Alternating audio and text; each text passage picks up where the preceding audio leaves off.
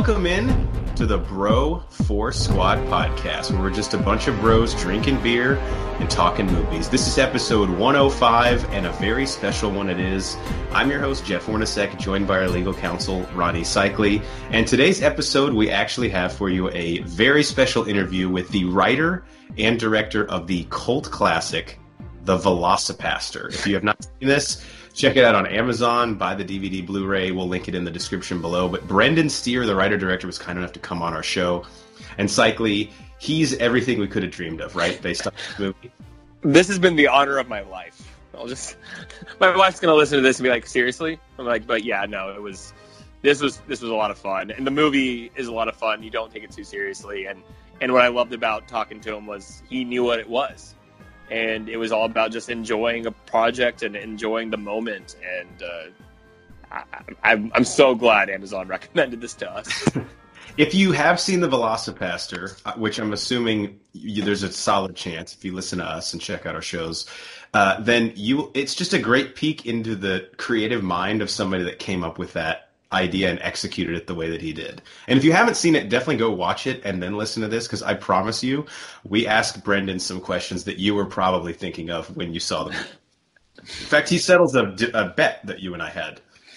And what I love about, and he he talks about this too. If you're unsure about this movie, watch the first minute of it. He point blank says you will know within the first minute whether you should stop watching or you should keep watching. And there's nothing wrong if it's not for you, but if it is for you, get ready to have a lot of fun. Yeah, kick your feet up and enjoy the ride. So, uh, without any further ado, this is Cycling Minds interview with the writer director of the VelociPastor, Brendan Steere. Hey guys, it's uh, Jeff and Ronnie with the Bro Force Squad podcast, and we have a very special guest today, as we told you off the top. Brendan Steere, writer, director, basically conceptualized everything from the cult classic already movie, The VelociPastor, joins us today. Brendan, thank you so much for coming on, man. This is awesome. Absolutely, guys. I'm happy to be here. So, Brendan, we, first off, congrats on the film. I think we, Cycli and I, are definitely your target audience, like what you were going for, because everything you were you were going for just hit um, the concept alone had us so intrigued. And not gonna lie, it took us like 15 minutes getting in, but then once we saw what you were going for, it became complete genius. So uh, I'm sure everyone listening to this has either checked it out now or they will right afterwards. So maybe just so they know a little bit of like how this got started. What is your background like in filmmaking, and then what actually like what was your start in the industry? Yeah, um, it yeah, it's. I mean, I've been making films since I was like 14. Uh, it, it's a it's a difficult question to answer because I, I, feel like in some ways I'm still very much on the periphery of of the industry proper. It's like uh, even this week I, I was like having my first meetings with like agents and managers and things like that. Everything I've done has been relatively self propelled. Um, so it started when I was a teen, uh, you know, just making movies with my friend in my backyard with my friends. And uh, I think I just realized over time that I enjoyed it more than anyone else. I, I wanted to be a filmmaker. So um, yeah, uh, that was from that moment onwards, probably 14 or 15. I was just that was the only thing I knew.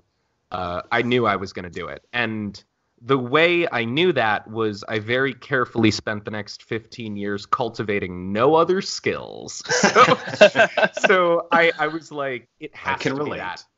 yeah, yeah. I was like, if if I gave myself a fallback plan, I knew eventually I would take it in like a moment of adversity. So I gambled, and I was sort of like, you know what? I'm not gonna prepare a backup plan, and I'm just gonna stick with it till it works. So good for you. Yeah. Yeah, thank you. Um, I went to film school in Manhattan. Uh, I uh, made a feature there uh, called Animosity, which was my first feature, and then I moved to LA, to Paris, to Berlin, back to LA, and VelociPastor. So uh, that's what I've been up to. Ton- I did tons of short work in film school that is floating around as well. So. What I love about VelociPastor is, you know, you take it for what it is. It's one of those kind of movies that people have always had a conversation like with their friends about just a stupid pun or something and oh we can make a movie on that how stupid would it be but you actually went and did it, right? Like I think that's the big difference between yeah just talking about art. Like what makes art so interesting to me? It's so subjective, right? Because there's a lot of times like, well, well I could have done that, but you didn't, right? Yeah, what made you like this idea that probably started as a joke? I mean, if you want to give us a background on how you got here, but what made it turn into maybe a joke or a comment that you said, you know what, I'm going to do this. Yeah, it's it's funny. So um, I made in film school in 2011. I made a short film version of VelociPastor um, for an in-class project, actually. uh, Uh, and you so- better have gotten an A, otherwise that professor and I Right? have I would It's love to see the comment. Don't worry, it's film school. The grades don't matter. but, but I will say that um, you know, it was a super vague assignment. It was something like you had to tell a, a story in four minutes, and Grindhouse had come out pretty in that time period, um, pretty recently before that, and so it was very novel and cool to me that you could make a fake trailer. Like now it's sort of played out, but at the time I thought that was super cool. Um, so I was texting my friend about dinosaurs, as one does, and my phone auto corrected Velociraptor to VelociPastor. That's amazing. and I knew I had this assignment like due in a month or so. And since I had been That's just in. Grindhouse, of course, I loved movies like that. I was like, "Fuck it, let's just do VelociPastor." so, so I did it, Oh, and that's um, thank you. It it uh it buzzed a little. It was like the first thing I made that had any real audience, and like for me now, it's it's not like you know it, it was it was an audience at the time. Uh, so i tried to make a feature happen. Feature didn't happen. And um, i moved on. I, I went on and i made animosity. I did the i graduated film school. I lived my life. And after i had done my first feature i just couldn't stop fucking thinking about VelociPastor It's, Kept it, me hasn't left night. us for the last week. I know. It, it- it's like that insidious kind of idea that just sort of like worms its way down in your head. It's And- too genius to just not to leave unmade. I will say. Right. And so it, it's funny because I am like an art film guy. I, I'm a I'm a film school kid, and so speaking in terms of like the artistic hoops I had to jump through in my own brain. Uh, to justify doing this movie was uh, was just that I had to sort of talk myself into it and and be like, "Mm, you obviously want to do this movie, so like you haven't stopped thinking about it for five years. so it would actually be more artistically true to yourself to go and make the fucking VelociPastor, and then you can get back to your your arty feel bad horror movies whenever you want. So share that's what I did. share it with the world. Yes. A question I had, and I don't know how accurate IMDb frequently is, because I don't know. If someone could put something on your profile, I'm sure, and then you have to double check it. But uh, it did say that you were also in a rock band. So I was wondering Yeah. if that's still the case, and then did you uh, like what was the process of getting some of the artists or the music for this film, and at what point in the creative process were you like, all right, I want this song to play in like the whole psychedelic sequence? Like, was that Yeah, the yeah. first thing you thought of, like the music for that, or is, does that come after in terms of the creative process? Um, it depends. In in this one, I I knew I was also going to edit, so that was not the case with my first feature. Um, but the budget was so low on VelociPastor, and it was such like a weird tone of humor uh, that I knew I got, and I knew I was a talented editor. So I was sort of like. I I knew from conception that I was going to edit the film, so that gave me a little more leeway with some of the montages because normally if I was going to give it to an editor, they would be very, you know, storyboarded in advance. I would have the tracks Right. locked down. Um, but since I knew I was going to have that wiggle room, um, they're kind of a bit of both. Uh, definitely the training sequence, I knew I wanted um, that Holy Mess song. And very early on, I knew I wanted the Holy Mess to also be the last thing you heard in the film. Um, the sex scene I actually found after we shot it, which was weird. Uh, uh, that was that was the only sequence in the film I did not storyboard. I was terrified of that sequence because I, I didn't really know what I was going to do with it. And so, um, after we wrapped the film, uh, the girl I was seeing at the time was acting as a cinematographer in Latvia, and she was having a really bad time. So I flew to Latvia, and I edited VelociPastor there. um, surrounded by Soviet bleakness and very long winter nights. As someone And- who studied the abroad in Leipzig, Germany, yes, I, in Leipzig, East Germany, yeah, it's Yeah. very, very drab. Wait, sorry, you lived in Leipzig? Yeah, I studied abroad in Leipzig. Yeah. Oh, that's so cool. Sprechen Sie Deutsch? Uh, yeah, ein bisschen. Ah, ich auch. Yeah, yeah. Oh, yeah. We're gonna just change the podcast into a Yeah. German. Uh, Let me log on to Google Translate real quick, and I will. I am so sorry. I, Well, yeah, sorry I- to get on a tangent there, but yeah, those those buildings, I absolutely understand what you're talking about. and the sex scene was me essentially editing myself out of a depression. Like, so I I was just listening to a lot of the uh, the you know the different songs that I knew would tonally fit it, and when I found that Math the Band song, I just uh, I just loved it. I, I there was something sexual and sexy about it without it being like a fuck song, and Right. that was what was interesting to me. Um, and and I don't know, like, oh, in terms of getting the music and all the stuff like that. Um, yeah, I I just knew everybody. like That uh, helps.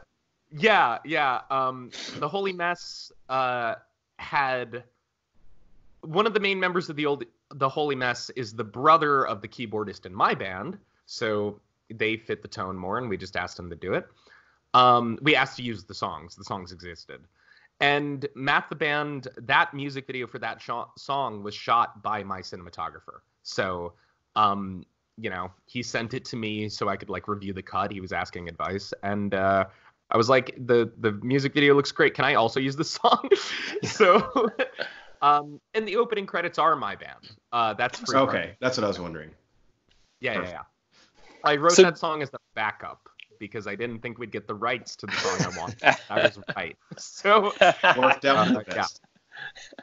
that band would regret it now, I bet. yeah. So, did you film? Like, was the film the whole thing was filmed in Latvia? No, no. Okay, I, okay. We- fucking wish. Uh, well, We- I because I, think get that said something on Wikipedia, and I yeah, that's why we wanted to ask you. I was like, that seems interesting because your budget was said thirty five thousand. I was like, Yeah, that just what paid for everyone to get to Latvia. yeah. The Right, I was like, just That's a vacation movie. at that point. I would love to shoot something in Latvia though. That place is fucking wild. Yeah. And like I I just feel like I have to go back at some point. It calls to me like a pilgrimage. so, so one day I will return. But no, Hey- we shot we shot it in Pennsylvania and New York. Okay. New York City. Yeah. Okay, it makes a lot more sense. I was just like, that's an interesting play on the budget. So whoever funded Yeah. that, I only you wanna- thirty-five thousand dollars. What are we gonna do? would you mind talking about that? Because I always, you know, I'm always infatuated with how these types of films get made in the first place, right? We know not not to insult it, but you knew it was going to go to the movie theaters and make big on the box office. Oh, That's just yeah. inherently true, unfortunately. So how you know how in what way were you able to get the 35 and you know would you have changed anything? Like- Could you have gotten a bigger budget? You know, or is this the, was this what you wanted? It was perfect for it. Um, yeah, I, I, I think it was perfect for it. Honestly, I, I, so the way I got the budget is very weird. Um, as is most. Because I'm wondering how you how you pitch movie. this to people. I'm so interested. in Yeah, I, I, well, that's the weirdest thing about it. So everybody assumes, or, or I see a lot of tweets that essentially are like, "What studio greenlit this movie?" and stuff like that, right? Hey, fuck And- those guys. first of all, yeah, fuck those guys. But, but second of all, it was um what happened was I didn't pitch it. I was working on the screenplay. Uh the girl the my ex-girlfriend, the girl I was seeing at the time, her mom happened to know people in the Chinese art world. And so of course I was talking to my my ex about this project. She had mentioned it to her mom. So her mom calls me and says, "Hey, I think I have. How much budget would you need for something like that?" And you know, How much you being- got? Yeah. Yeah, being an independent filmmaker, you hear this all the time. Like, like people will reach out to you, and it, you know, ninety-five percent of the time, it leads to nothing. It's either somebody who just doesn't really know how much movies cost, or or they're just trying to be nice or trying to feel important. You know, um, things that that happens all the time. So. I didn't really think much of it, and I responded, I don't know, probably like 35, 40,000, something like that. And uh, she was like, "Cool, send over the script and the pitch, the the pitch packet, which I just finished that day." So I did. Um, and the next day she calls me from Germany and is just sort of like, "Hey, Brendan, the movie is funded. The money's in your account. Have fun." Oh And that was my that. god! I have Did you think it was a joke at first? I have never met her. Um, she is a Taiwanese woman named Jessica, and I don't think she speaks English. so, So she has no idea what the fuck she just gave. no, no, kind she of has film? no idea. Did Uh, she I- get I- all the rights to it as the the? She got the Chinese rights. the Chinese. and that was all rights, she asked for. She asked for Chinese distribution rights, and so I was like, "Fuck yeah, That's you can have. China, whatever." And I'm sure in Um, the script she had the Chinese were, and we'll get to this in a sec, but they were a big part of the script. So she's like, "Oh, this will play in China." They go to China like four times. I think so. like, I, I really, truly, have never met this woman. Like, That's I, I incredible. tried to get the film to her, and um, there's always either a language barrier or, honestly, I think she just doesn't. Sorry. I think she just doesn't care. like I think she's so China rich that to her, Uh-huh. uh, 35k was just sort of like you know you can drop that. can't when you walk to a imagine store. a more perfect situation for this kind of film. I Honestly, like you, it just sounds made up. I know. Well, That's and that's the I thing is that like serendipity and this film uh, just have lined up every step of the way. Mhm. It, It seems like fate, yeah. We've pulled uh, victory from the jaws of defeat basically every every single moment of it. So Well, it it- makes sense. The, the idea was never dying in your head. Like, it, Yeah, it was yeah. being telling you like you're gonna make this movie, you're gonna make this movie, and things Right. just kept working out. Like, it, meant, it was yes. meant to be. I just lost my cough drop, but yes. Uh, Brendan, I want to ask you, kind of similar to the the process of, of pitching this both to the the artists in it, and then obviously the ways to get it produced and funded. What was your casting process like? Like, how did you pitch this project to actors, and what were you specifically looking for? Because I feel like there could be a lot of maybe lost in translation, like from pitch meeting to an actor, or even like a, a an audition to what you want to see on the screen. So I can imagine that was kind of a challenging part of getting this made too. Uh, yeah, yeah, no, it absolutely was. It um, casting casting is maybe the most important thing you do as a director. Um, when you're making a film, it's you know your actors are so important, especially in low budget films. They are really the difference between the film being good or not. Because like you could put all 35k towards equipment or special effects or something, but if if the audience isn't connecting or caring about anybody on screen who gives a shit? Like they won't remember the film um Yeah. regardless of how cool it is. So i knew going in that the two leads had to be professional actors. Um that's carolyn carolyn doug uh, alyssa and greg. Mhm. alyssa i had worked with on my previous feature and um i didn't know her when i cast her then and so i gave her a, a smaller part and she really impressed me so i knew she I was like more her. talented oh yeah you know actually never mind I I knew she was more talented than than um you know I had let her be in that film. So I wrote Carol for. I knew that going in that she was going to be Carol. Um Doug was different. I had an actor in mind for it, but the actor dropped out. Uh so what ended up happening was we had no lead character and we submitted to a crowdfunding site called Seed and Spark that Greg happened to work at and he happened to know one of the producers on the film. He reached out and was like, "Hey, uh, can I audition for this?" And I was, I didn't know this guy. I was like, "Yeah, sure, whatever, crowdfunding guy." Uh, I sent him aside and he sent in a self tape, and he was so fucking good. Like out the gate was perfect for it. Um, so yeah, We're getting like a, a Michael C. Hall vibe from him. Like, I- yeah. yeah, yeah. he's a very he's a very particular feel um and i love him uh so what ended up happening was between them i we worked really uh closely actually um us three on making that whole thing work um i wrote them up sort of doug and carol bibles that they you know was sort of me pontificating at length being like yeah you're playing a character but you're also kind of playing an actor playing a character so it's like this weird dimension like um there's going to be this push and pull of of sort of the reality of what you're playing um and so once we sort of were all on the same page with that it was just rehearsals and doing it Um, you know, actors have that skill set. They're trained for things like that. That's why I knew I needed them for those parts.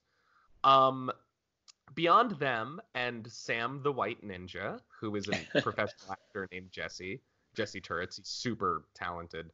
Um, and I had worked with him before too. But beyond those three, no one in the movie is a professional actor.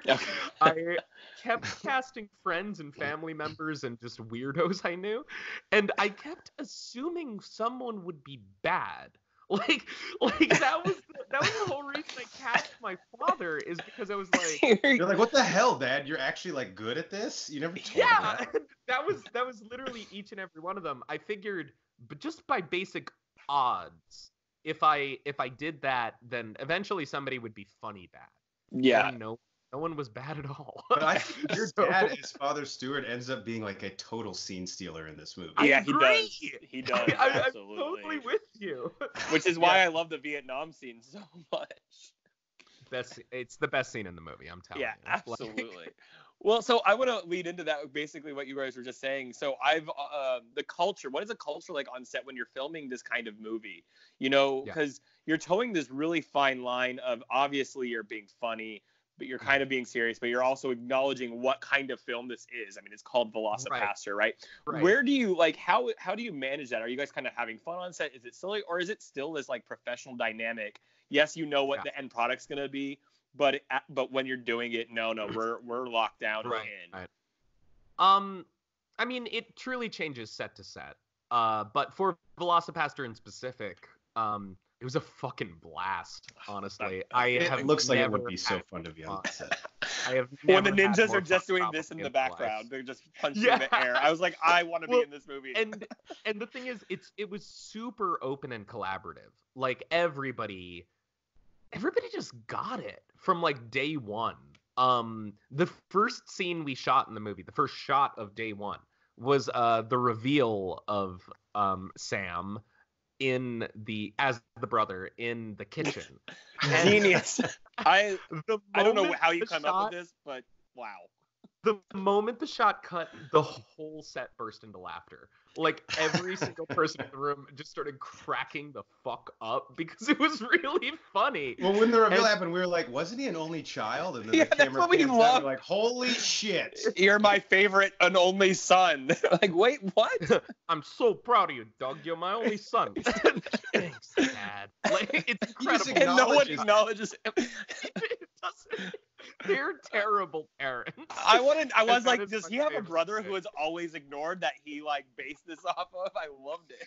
yeah, it was. it- um, I honestly, I got that from anime.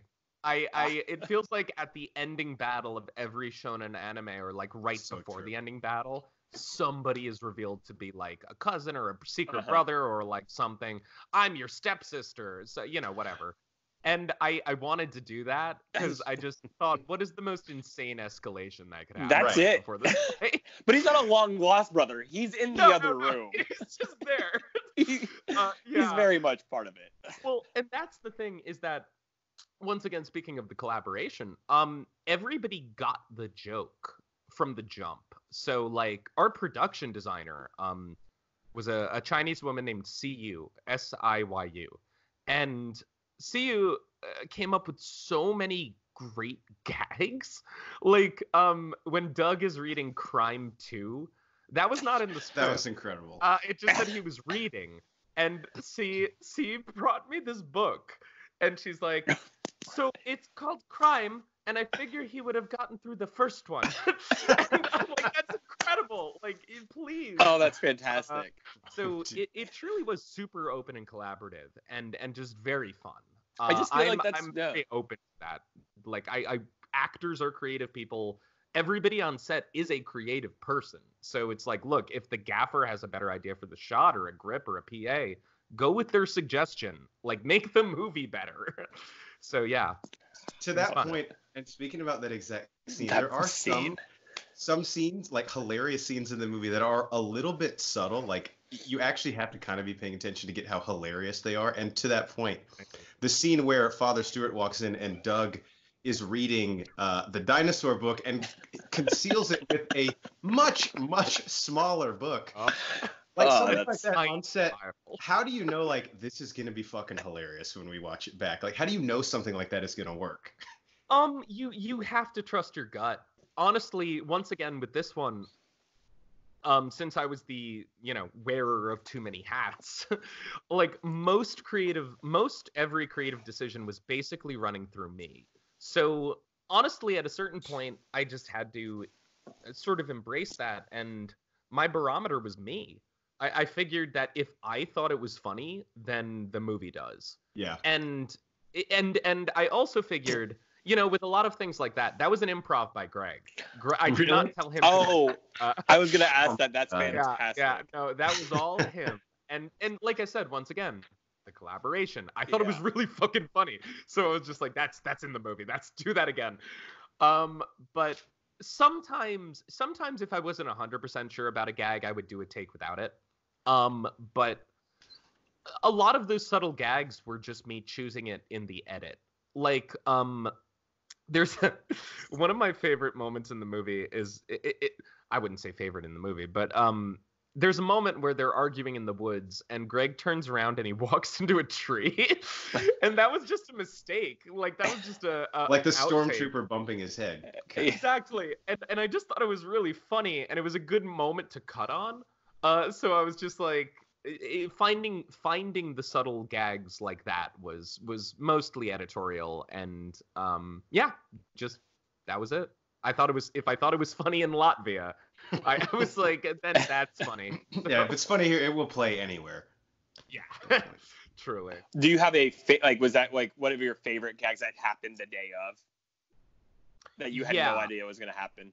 Him him hiding the book is uh, The book, okay. I I thought that was a stroke of genius. Um, That, when when I've been talking to people about this movie, that's like if I have to give them like a 30 second elevator pitch, I Yeah. describe that scene to them, and I've had at least three people tell me like, "All right, I'll watch it tonight." Then that sounds like right. It looks like one of those like pocket dictionaries that he takes up. yeah, yeah. I don't I don't even know what it was doing on set. Like, it- I just love the idea that your your your the father there was like mad that he'd be reading a book about dinosaurs. Like, what's inherently suspicious about reading a book about dinosaurs? Yeah, Oh, no! it's a great point. It's a great point. oh, I loved it.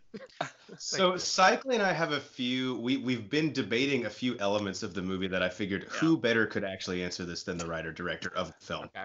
Okay. So settle a few arguments here. The first one is that first night that Doug transforms into a raptor and saves Carol, and then he wakes up the next morning. Did they have sex? And if they did, was Doug in his raptor form when it happened? I'm gonna say no. Yes. I, I'm gonna say that they were chased Got until it. Until the the true moment of union later in the film. Because I- I remember that- the, the miscommunication there is hilarious. Yeah, yeah, She's yeah. like, I even peed a little. They're like, what are they talking about? Yeah. yeah, in my brain, in my brain, after Doug ate ate the the thug, uh, he probably just transformed back and Carol carried him. Like I, I think that that's what Makes happened. But but yeah, I'm happy to clear that up. Another yes, I, I appreciate you clearing that up. one one other question I had. So the name Frankie Mermaid, incredible. And the reason he calls himself that even better because he says, "quote He's swimming in bitches." I was wondering, were there like, how did you settle on that name? There had to be other equally as ridiculous names, or did you just like, did that just come to you in a light light bulb moment? Like, oh, his name is Frankie Mermaid. Uh, that came to Fernando the actor in a light bulb moment. That uh, Fernando is uh, sorry, Frankie is played by um, a director, a writer director named uh, Fernando Pacheco de Castro. We were film school buddies. Um, and like you know, in film school, you all act in each other's shit, and so he, I had seen him in something, and I thought he had a fun energy. So when I was writing the script, um, or thinking about actually making the feature, I texted him and I was like, "Hey, dude, I have a pimp character for for Carol. Um, would you mind playing that character?" And his response was this fucking paragraph that was just like, "I'll do it on one condition. My name is Frankie Mermaid. Why is it Frankie Mermaid? Because I'm swimming in bitches. I'm gonna shave the Oh top my of my head. I'm gonna be." He just shot me a character bio. And like I was immediately, I was like, "Okay, you're hired." Like, Yeah. do it. Say no more. Um, Once you made the sale, stop selling. yeah, yeah, yeah. So what what ended up happening is um I put the script online uh, a couple of like a week or two ago because I found it on my computer again, and like the movie's made. Why the fuck not? Everybody can read the script. Um, and I one of the things reading it back that was interesting is most of the lines are like pretty word perfect, except everything Frankie does because He's a Uh, wild literally- animal. You can't cage him. I know, and and he's a very different character in the script because I knew on set that Fernando has such a talent for improv that um giving him direct lines would sort of cage him. and uh so I just sort of put down the points he needed to hit and like maybe a suggestion and I think that he improvised I'd say 80% of his dialogue. Oh. So it, it's that is all him. When he's in the Uh, confessional, it's, Just to It's- brag about his Just sins. to- just incredible. like he just it, and once again, I I feel comfortable saying that because it's basically just Fernando. I just gave him room to play, and uh, he went for it. he's Once basically an episode of Curb Your Enthusiasm. people. Yeah. yeah, yeah, exactly. So okay, I was curious about you know the serious question and uh, you know and in the movie question, it, I kind of got like an Ang Lee vibe with some of your edits and your cuts. Um, is that what you were going for, or it was it was this more for fun, or do you have certain influencers that you've seen in film that you know you actually do like certain styles? of editing. Yeah, of editing. Yeah. Oh, oh, yeah, okay. Um, Ang Lee is interesting. That's that's an interesting one. Um, I love Ang Lee, so I think that probably yeah. Uh, especially like the ice storm, like that that Mhm. that Brokeback Mountain, things like that. That mode of Ang Lee, I really adore. Um, a lot of his Taiwanese films are like that too, and I, I've just always liked that style. So yeah, I, I'd say to a certain extent, but it definitely wasn't what I was thinking. Okay. uh, what I, the biggest influence, edit wise, on this movie, I would say. It's it's kind of two things. It's um a Japanese and they're both Japanese. uh, it's a Japanese live action film called Hausu from nine, the 1970s. Um, I love that film. It's one of my favorite movies, and it, it was it, it has this weird quality where almost around every almost every scene is like a new visual idea, and I love that about it. It feels like around got that vibe, yeah. corner. Yeah, yeah, like there just is something new, and um, I I yeah I really liked that. It's very experimental. It's very strange. Um, and the other big influence is a an anime called um, Neon Genesis Evangelion. Um, they do a lot of very, especially the further on the show goes, they do a lot of very what I would call almost impressionistic editing. like they they're it's interesting because like the standard, you know, thought process uh, for almost a century is that like you you sort of match action edit is what it's called. It's like the idea being that you don't call attention to the edit, you edit as invisibly as possible because if you edit to sort of throw the viewer off, um, they're being reminded it's a movie, and that's why, Takes them and, and you don't want that hypothetically. Mhm. Um, and that's been the standard logic in Hollywood for for a very long time. Uh, not always, always, always, but in most films. Sure. And um, I just always thought it could be more. Like it's how do you edit an orgasm? It's sort of like, or how do you capture in an edit um what it what it feels like to have sex? It's like that. That's that's interesting to me. And since I knew that I probably wouldn't have another opportunity to have thirty-five thousand dollars in carte blanche, I was just sort of like, yeah, fuck it, I'm gonna go for it. Let's do it right here. And- you did. yeah. Thank you. And so it was a combination between that and uh, uh if it was funny. Like Sure. like you know uh, so many um a great exploitation film uh that really influenced the film that VelociPastor is called miami connection and miami connection just has these hard fucking edits that'll just be like Like, and then, and then you're just somewhere else and, and you're like, just kind of sit up straight. You're like, whoa, okay. yeah, yeah. And so, and there's an unpredictability to it Mhm. that I think makes it fun. And that's why some of the scenes will just go on a little too long, and other ones I'm like, ah, we're done with that. We're done with that. Go move on. Uh, it, it's I wanted that freedom to do that. Yeah, That- I think that was yeah. exemplified perfectly in the Vietnam scene. Like to me, that that Yeah. whole how we got to there. I remember saying while in our in our commentary, I was like, I don't. I don't remember how. Why are we? Are we in Vietnam right now? Like you know, it just was completely thrown at you, and it was Yeah, yeah. perfect. Yeah, you know, but you. it was it was very in your face. I loved it. Yeah. And Thanks. Brendan, to that point, this this is not hyperbole at all. I think that's the hardest Ronnie and I have laughed at a movie Oh in my like god. Oh, since thank Step. Brothers. And I'm not joking. So completely sober. Yeah, yeah, yeah. That's completely sober. So I think you, you even you. said in Reddit on a Reddit thread that yeah, Yeah. you you can encourage you know drinking, smoking, whatever you know, whatever Yeah. gets you in the mo- mood. But uh, you know what? I'll Yeah. be the person to say that you can watch it sober completely and still love it.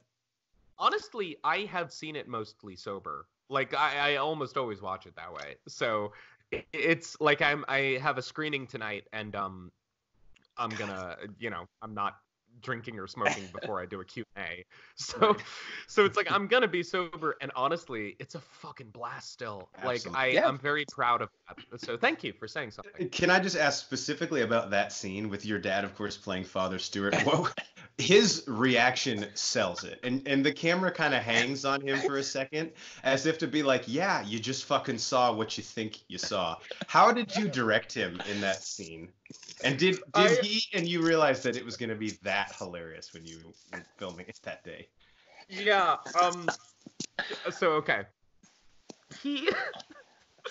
I told him to just stay still, and for some reason, the choice he made of this face.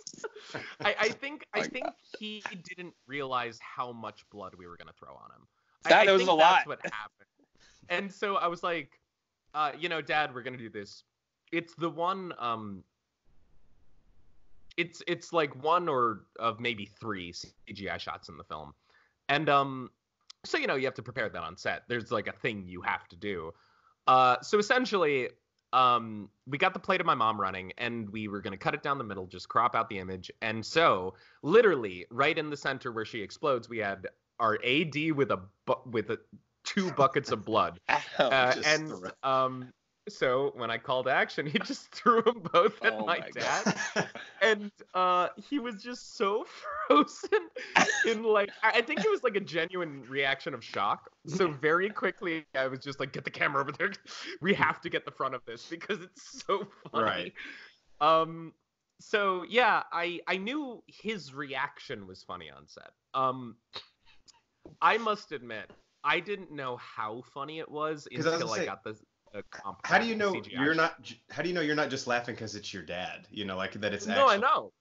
I agree. There, there were moments that I would ask myself that, and like, I can't I- imagine putting my dad through that. I, I, I, I Did you please tell Um, me you did multiple takes of where you just could repeatedly get to throw him and go get him cleaned up and do it again? honestly, we didn't have the time. Like that, that was that was a gag that I knew we didn't have a backup uniform. like I, I knew that. Oh, I if we- commented on your your the the priest robes. like there's like Oh, yeah, threads yeah, yeah. coming out. I loved it. I, we got this for twelve bucks a pop at Party City. I had a Uh, feeling. That's fantastic. Yeah. Um, but yeah, with that scene, the Vietnam scene, when you have a huge blood gag like that, um, you need multiple copies of costumes so you can do multiple takes. It's like humanly impossible to clean it off, dry it, get them back through hair and makeup. Like that takes a couple of hours. So Yeah. you need multiples. Um, and we didn't have any because hubris. So um, with that shot, I I knew it was uh it, it was gonna work or it wasn't, and it was just sort of like we're just gonna have to roll the dice. And my thought was also, quite frankly, if it looks really bad, then maybe there's something funny I could do with it. Like maybe I could in the edit, maybe that's the gag. You know, like it, I'll figure something out. But uh, it came out so fucking well, and um, it was truly when I saw the, the CGI comp back from of my mom actually like dissolving into the blood. getting I- exploded I completely. lost It, it had Why was she in Vietnam? I have to ask that question. what? What was that? Maybe she was trying to start a family. I guess. Like- I, I I think I just repeatedly like I was crying, going, "Why is she there?" She loves him. God damn yeah, it. dude, she was coming to see her man. Clearly, Before Yeah. that, the guy who is just incessantly bragging about how like he hasn't been shot in the war, like, s- like, Who talks like like this is like it's so obvious what's gonna happen. I'm like, I love this because we all had that guy in high school. Like nobody could kick my ass. Like you're gonna get beat up Oh, today. Yeah. Tell your son I got the guy through the war without getting shot or hit. Without taking a single hit. When he says that in the theater, usually, usually it's as soon as he says, um, without like taking a single hit uh, or a single shot or something. There's usually from the back of the audience like a. yeah. As everybody figures out what's going on, it's Right. it's awesome. I love it. Another shot I have to ask you about, and this was another one that I really want to know. Like, how did you? What gave you the inkling that this would be hilarious and not? Because it's so early in the movie, like the first Yeah. thirty seconds, is that VFX shot after the car Yeah. explodes and kills uh, Doug's parents, and it just says VFX shot of a car on fire. Yeah. I mean, just walk us through that. That's yeah. incredible. So, not in the script. Um, was I I we had intended and we actually had the money to go back and do like it was intended to look shitty. But uh, Right. my thought was that we were gonna get like a, a model car or something and like put a firecracker in it and shoot it on like a miniature set. And like the fun would be that it was, you know, a hokey bad effect. Um and also very obviously handcrafted, right? um I thought that was going to be the joke. And so when I started editing the film, I had that in there as a literal placeholder. Like that's what you do, right? So Um, we wonder. trying to get- Yeah, yeah, that's really what you do. if it was It's like- authentically saying we're gonna put it here. Yep, it was.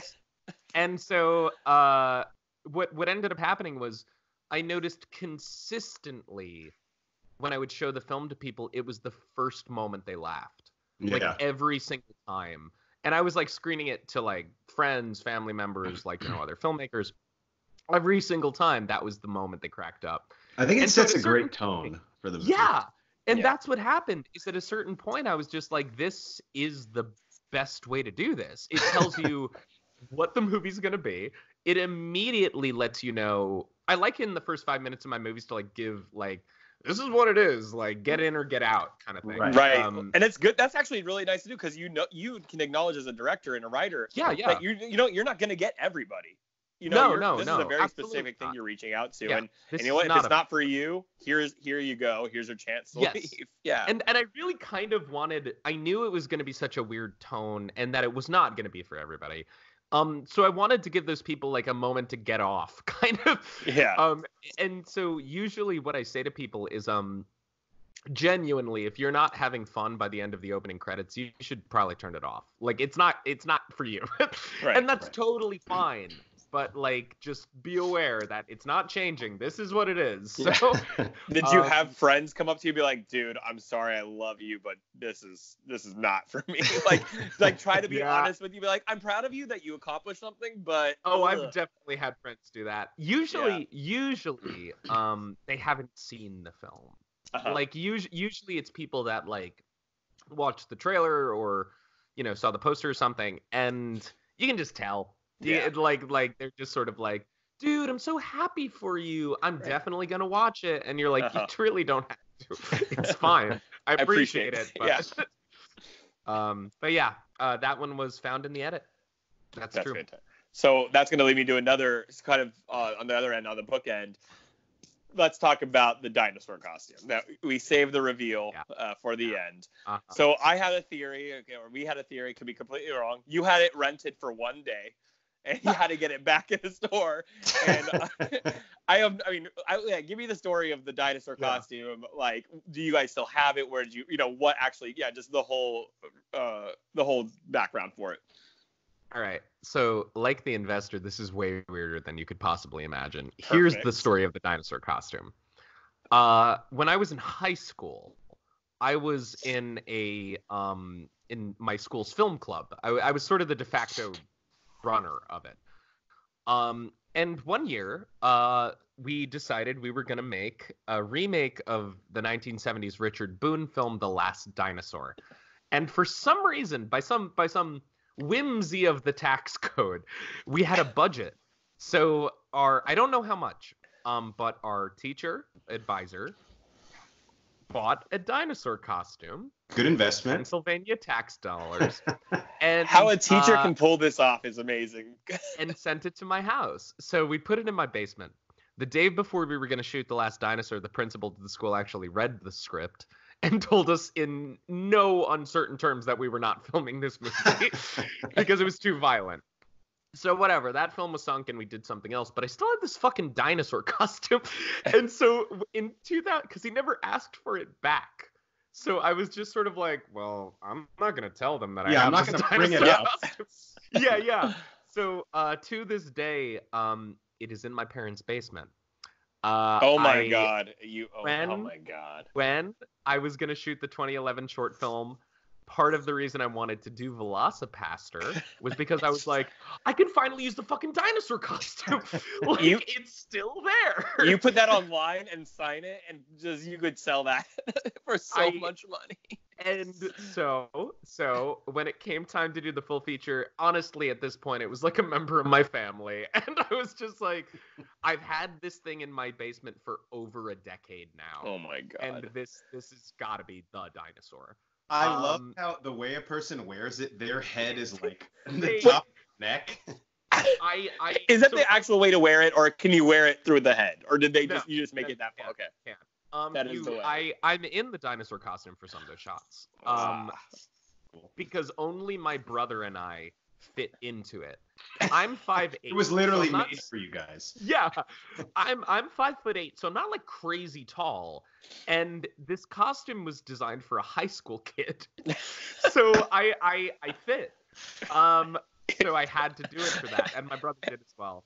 Uh he's he's it most of the time but if i remember correctly i honestly can't tell. So but i i if by my memory he's mostly the dinosaur. Um and so any uh, the way you wear it is uh you you crawl in through its birth canal and you have to manipulate the jaws with your arms so you're sort of sticking out your arms in front of your head right. like like sort of in a I, Oh I my don't even I don't even know how to describe the motion. Like, obviously, you guys can see me, but um, you, you have to sort of stick your arms in front of your head and up. It's like the gator chomp.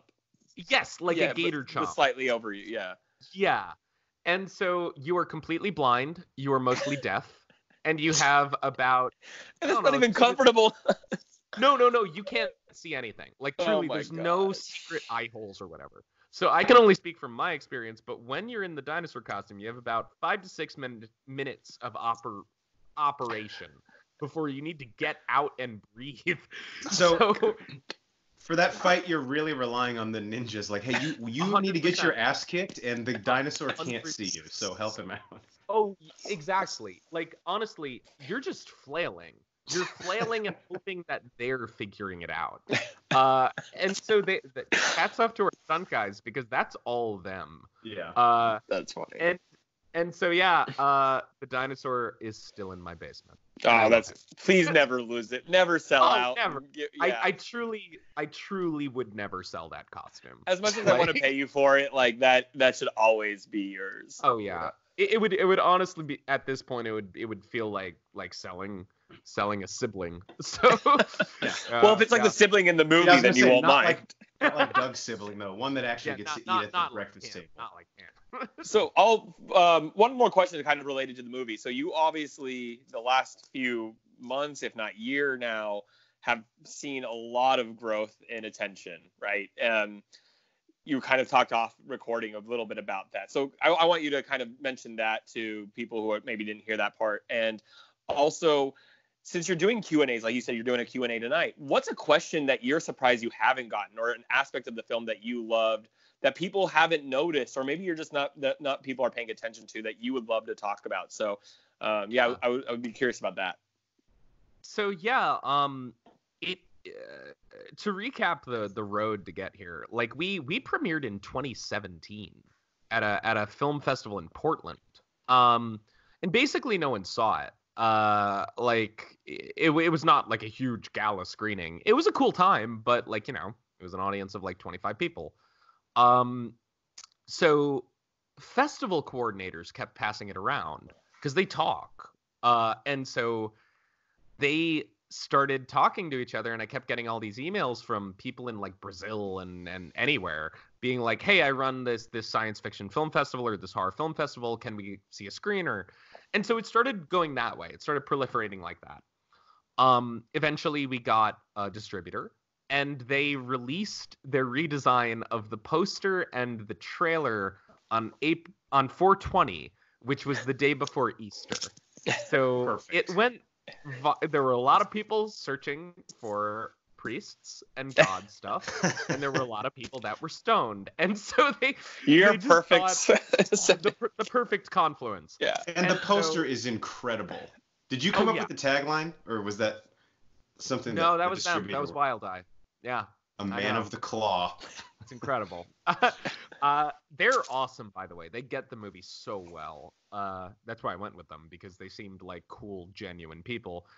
Um, so anyway, it went viral then, and then we released on DVD, Blu-ray, streaming on sometime in August 2019. And so in January 2020, it was posted to r slash funny, and that's when it really I I my my buddy's husband texted me that it was gaining some traction and i pulled over my car in front of a mcdonald's and i jumped in to do an ama That's, That's amazing. because I, I saw an opportunity and i was like this is this could be a real moment. um Mhm. yeah yeah so i spent the next three to four no i'm sorry almost 12 hours yeah holy shit that was a very long ama Well, But, Reddit's yeah, a no. dangerous place you can get sucked into forever. Yeah, yeah. Eventually, I had to take a break to drive home at some point. Like, I- I'm at the side of a road here. McDonald's Yeah, is like, get the fuck out. Yeah, I my phone was dying, and I was like, it, it- it would just let's just find a keyboard. Like, it's obviously something's happening. Um. Anywho, so that brings us to today. Uh. And wait, there was a second part to your question. yeah, Oh, just oh, so like, yeah, go ahead. Yeah. Um Yeah, so the funny thing is actually because it has become so viral, honestly, people have noticed everything. Yeah. the only thing, the only thing. Um a- and I mean that I'm very happy people have noticed everything. I'm very happy to talk about all of this weird insanity. Um things like uh the ninjas never speak Japanese. Ninjas are a Japanese cultural thing and they speak Mandarin, Korean, and Cantonese and English. it was very deeply important to me that they never speak Japanese. Right. There's no like, So- Stay away that from that. No, no, no. Because my thought was the the idea of the joke in scripting was that the dumb white people that made this movie wouldn't know the difference. Right, Absolutely. and absolutely. so um, I can tell you, most white people don't know the difference. Tom And, Cruise um, definitely gets it. Yes. Uh, here, here is probably the craziest thing that like nobody talks about. Um, the guy that plays Master Wei Chang uh, is uh, an. Sorry, it's just crazy. He is an internationally renowned modern artist named Yang Jiechang. His work is in the Met and the MoMA. Oh wow! He he's fucking crazy talented. How did you get him in this movie? Oh, I was dating his daughter. Oh, So- there you go. so- All right. I love I- every connection you have in this film. Like how you. This is. This is too It's- perfect. It everything Yeah. works. So he, um, his daughter and I were in a very serious relationship for many years, and so he was just like, yeah, like you know, I was very close to him, and since I knew I was gonna have this kind of like crazy racist yellow peril character, I was like, who could I ask to do that? And so I was at the breakfast table with him one day, and I was like, "Hey, Jiechang, do you do you want to be in the movie?" And he said yes. He translated his own lines, and he flew himself to Pennsylvania for it. Oh my god! Um, Which is an amazing is like- relationship for the girlfriend's father. Like I've always had weird Right. relationships with my girlfriend's Oh, yeah, father. Yeah. Like you're like, hey, you want to be in this really ridiculous movie? Yeah. Uh, yeah, yeah. oh, it's awesome. I love the Yangs. They're fucking terrific people uh, to this day. Um, and so they, so yeah, he translated everything into Cantonese. Um, and he he and his wife flew themselves out. That's great. Uh, his so cool. and, and I seriously encourage people to Google him. He's insanely talented. He's part of the uh, the Chinese new wave of modern art that's coming out that includes people like Ai Weiwei, um, you know, uh, uh, oh God, Ming Ming and Ping, um, all of them. I've met them all. Yeah. so it, it's like the, he is very well connected in the art world, and it is so funny to me that he's in this movie. Like the joke is almost that he's just there. Years like, from it- now, that'll be an seriously like incredible piece of trivia. To show up in something. Yeah. Um, it, it's it's nuts. That's exactly So- the type of information I was hoping for. Like we would have never Yeah. known. And I, I go, yeah, that's that's perfect. So, speaking of that, Brendan, everybody listening to this again has probably seen the movie, or they're definitely going to go do it right after this. So, I'm sure they're wondering, okay, what's next up for you now that you've had this huge wave of momentum? Any future projects you either want to make or anything you can share? And then, you, if you haven't had to do it yet, you know you are going to have to fight that appetite from the fans for a sequel or something to this movie. Right. So I'm sure you've already started to get those questions. So what do you think is next up for you? Anything that you can share about future projects? Yeah, absolutely. Um, we have had uh, interest in sequels. Uh, you know, we're we're in discussions, we're in talks with people like that right now. So I truly cannot say much. Sure. But yeah. Obviously, I want to and am going to make a sequel. Honestly, Yes. I want a trilogy. That's Oh, my- let's yeah, go. I, I want I because it's a cult film, and you think of them as trilogies. Like you think of the Evil Dead trilogy, the Dollars trilogy, the Mariachi trilogy. That's the Cornetto one. Um, that's how these things work. So only- I You got to go I- dark in the second one. maybe maybe the second one is very weird, and I am so excited. For Oh it. god, Um, I'm so excited. This is I we're about 10 to 15 pages away from the end of the screenplay. So it's going to happen. I don't know when. but Sure. it Yeah. will happen. Um cuz honestly, even if all the funding discussions fall through at this point, I'm like, "Oh no, I want to make this fucking movie." You Um, crowd- so I'll figure out a way to do it. yeah. On I just want the Chinese rights. That's it. Yes, yeah, yeah. Send me $35,000 right now. Done. um, so that one I want to make. The other film that I really want to make, because of course I, I have a ton of unproduced feature scripts and stuff. Um, the other one I really want to make is very different. Uh, it is a very intense and dark found footage horror movie about incels. Oh my god, Wow. yes. I So it's it, and, and I'm talking like seriously, it's like Lars von Trier August Oh my Underground level. It's very disturbing. Sign Most me people up. that have read yes.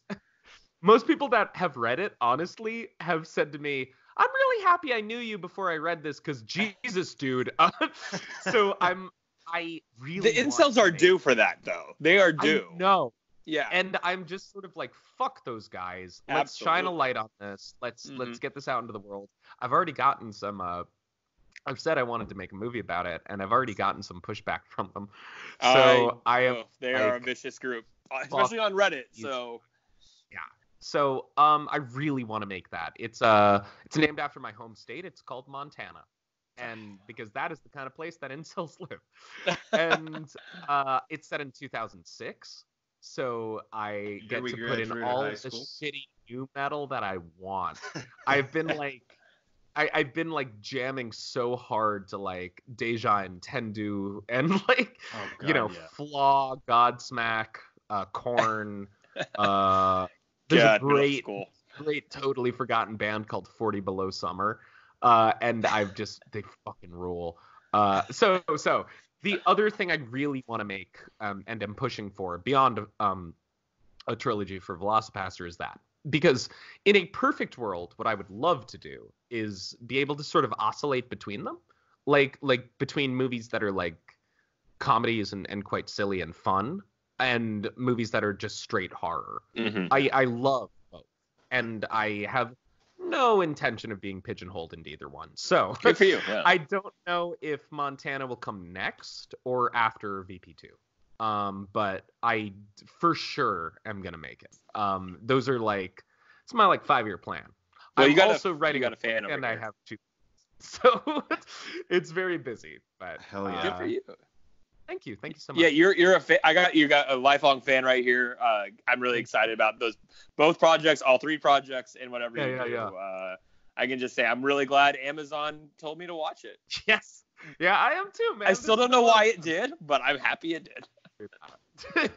Sometimes serendipity. It, Yep. it was it was the act of God. That's what we can say. Jeff Bezos knows what we like, and he Yeah. nailed it. Thanks, With that Jeff. So, Yeah. Brendan, last thing before we let you go here, uh, for the people out there, where can they find you online? Um, I know you have a website, obviously, and a social media presence. And then, where's the best or easiest place to watch or rent or buy the VelociPastor? I know it's on Amazon now, but might not be forever. And we'll link all this below. Awesome, thank you. Uh, yeah, I I am very active on social media. Uh, I live alone, so I'm very active on. Social media. You have a media. cat. You have a cat. I do. I do have a cat. An Most of adorable my- cat. Most of my Instagram are pictures of my cat. So Nothing wrong with that. So um, I, I at everything I'm just at Brendan Steere. Um, and the VelociPastor, if they want to follow updates on the film, of course we'll be talking about you know potential sequels and stuff there too. Uh, is at the VelociPastor as one word. Um, so just the VelociPastor, and that's on like you know Facebook, Instagram, Twitter, all all the major social media. I don't do Snapchat. I don't get Snapchat. So I don't either. uh, I I do not use that one, but most of the other ones I'm on. And uh, yeah, I will also say that if they want to see the film, um, it is on Amazon Prime. We are streaming for free on a service called Tubi. I believe Mhm. it has um, advertising or something, but uh, but yeah, it is for free on there. So if people are really curious but really can't pay for it right now, that's probably the best place to watch it. Please do that over pirating it or torrenting it because I do get uh, residuals from Tubi. um, And I know. and of course, you can buy a, a DVD or Blu-ray on Amazon, and the Blu-ray is region free. So if you Oh, live wow. outside of America, you uh, That's that is hard the to best way find. to watch it. Yeah. Yeah, And if yeah, I know, if, if you search the VelociPastor on my Amazon Fire Stick and you don't have Prime, it brings up the option to watch it on Tubi TV. So Oh, amazing! you're amazing. you're plugged in all over the place. It's really easy to find it. I, I think there's a big difference too in stealing film, like pirating films, like that's like Avengers, right? Like, and then when you're watching like you know low budget supporting artists, I mean that you're really doing a disservice to people if you're doing that out there. I agree.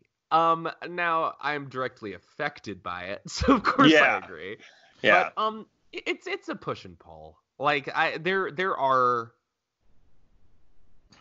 You know, the film blew up so meteorically quickly that genuinely there was all of a sudden an international demand, a worldwide demand for a movie that no one expected to probably be seen outside of the U.S. Yeah. So uh, it's based on an English language pun. Like, why do they want Yeah, that? in autocorrect. That's a great question. like- How are they tr how are they translating this? I didn't even I, think I- about I that. don't honestly. I think English is prevalent enough and enough of a lingua franca Yeah. that they at least understand. Like they, they get the pun, um, but or or understand that it is a pun. And the other thing is, I think dinosaurs are just funny. Like Yeah. I, I Well, think that true. that transcends um, cultural barriers. So the pitch is still the same. Uh, so all like the Japanese or or you know um, Arabic posts I've seen, like where there's no linguistic roots between Yeah. English and their language, it, it literally is referred to as just like Mister Mister Dinosaur. And so I'm like, fine. Close I can speak some Arabic. I got you. I got to I might ask you to send me some of those Arabic ones. I would love to see that. Oh yeah, of course. I found an Yeah. Arabic fan sub. Like somebody Really? straight up pirated it, fan subbed it into Arabic. Wait, I'm I'm, gonna go sorry. it was, check it was that out. Arabic or Urdu. I don't remember. But it, but it I was mean, it was a yeah. language from that area, from Yeah, like the the uh, the fertile. Yeah, because or Urdu uses Arabic scripts. Yes, yes. Yeah. And I um yeah, I'm I, That's as a fantastic. hobby, I'm a Worldwide. So um, but yeah, it, it's uh nobody expected that to happen. So there are moments that I'm like, look, I get it. I get it. But I will say if you have the ability to watch Sure. it for free or I'm sorry, if you have the ability to pay to watch it right. or um to get the DVD, I obviously would prefer you did. So And if you want VelociPastor 2, which you all do, then Yep. do it. that's that's That's on major- us. So, yeah, thank you, thank you so much. But yeah, I hope people come out. Well, hey, Brendan, thank you so much for coming on the show, man. Congrats on all the success. I know I speak for everybody who listens to our show and everybody on the pod. We are really excited to see what you do next, and this was a blast having you on today. Yeah, thank you so much, guys. I had a lot of fun. All right, uh, you guys know where to find us, broforcesquad.com. We're on Twitter at BroForceSquad, and just type in Bro Force Squad as three words all over the internet. Till next time, we'll see you guys later.